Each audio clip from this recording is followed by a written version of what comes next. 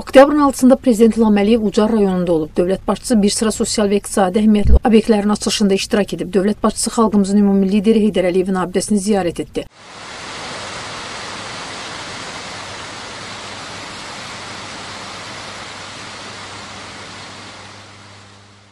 Ucar rayon icra hakimiyyətinin başçısı Mənsur Məmmədov məlumat verdi ki, Ulu Öndərin abidəsinin ucaldığı ərazidə son vaxtlar geniş abadlıq işləri görülüb, yaşıllıq zolaqları salınıb.